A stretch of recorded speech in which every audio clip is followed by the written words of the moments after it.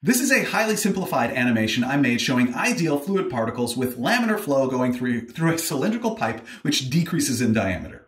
You can see this flow is steady, or laminar flow, because the motion of these particles is consistent and repeatable. Flippin' physics. Now, this is not typically how you will see fluid flow illustrated in textbooks because textbooks are usually static objects and do not change over time. So, what is typically shown instead are called streamlines.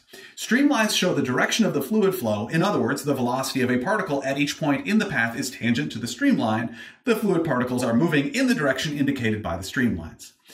In laminar flow, the streamlines will not change over time, and realize that the closer the streamlines are to one another, the faster the flow of the fluid. Maybe someday textbooks will become all digital, be able to use animations like this, and then they can show both the streamlines and the particles moving along those streamlines. Anyway,